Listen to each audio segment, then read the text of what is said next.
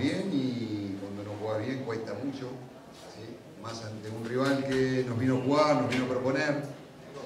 Tuvo la pelota, pero bueno, tampoco es que tuvo jugadas clarísimas, no recuerdo, si me pongo a pensar claramente, no recuerdo alguna jugada bien de riesgo, pero que sí, que nos tuvieron la pelota y que la manejaron y fundamentalmente en el segundo tiempo.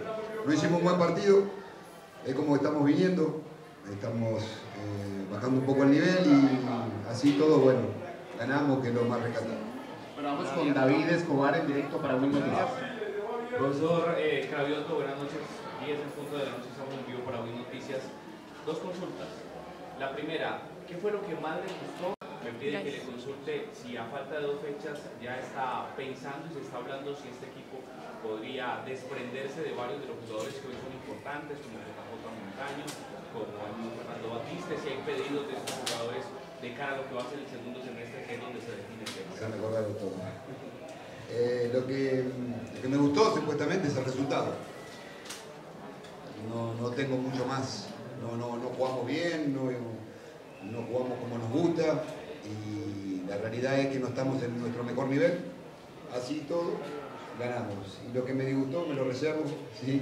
eso se habla en privado, pero ustedes lo vieron, nos jugamos bien, no tuvimos la pelota, ellos nos manejaron, tratamos con algunos volantes de sacar algunos delanteros que teníamos, es la primera vez que lo hacemos porque realmente veía que corríamos peligro, a pesar de que no nos llegaba mucho Real Santander, sí nos tenía la pelota. Eh, y así en alguna equivocación, hoy llovía, la cancha muy rápida, podía complicarse. El otro tema sí, si estamos pensando en el futuro, sí, sí estamos pensando. Bueno, Francisco Benítez de Caracol Radio.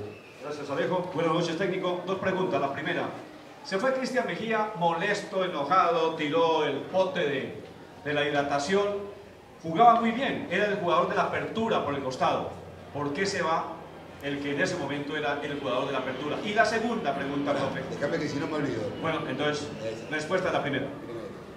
A tu consideración, fue el mejor, bueno, ningún problema. Yo tengo que pensar en el equipo y yo considero que estaba bien, sí, pero necesitábamos un volante y pienso que, fue, que hicimos lo mejor, porque no tenían mucho más que... Eh, cuando estaba Cristian no tenía mucho más la pelota.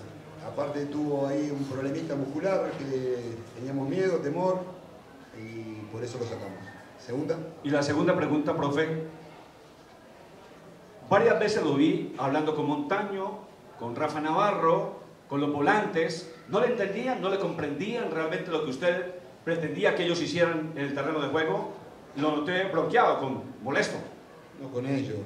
Uno habla y habla del partido y no, en ningún momento eh, decíamos de que no estábamos en nuestro momento, que había que hacer otras cosas, corregir. Lo que pasa es que adentro de la cancha, el que jugó al fútbol sabe que hay ademanes, hay formas, eh, que no es tan sencillo estar sentadito arriba de la platea, en la tribuna.